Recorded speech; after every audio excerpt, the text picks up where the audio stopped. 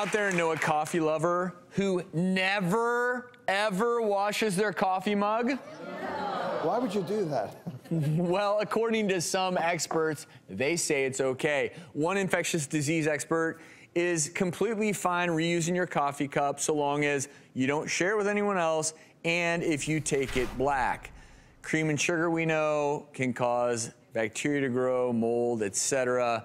Um, but again, some of these experts say, eh, if it's just black coffee, go in a few days. But personally, I, I like a clean coffee mug. Yeah, no, no, no, I'll take this one every single time.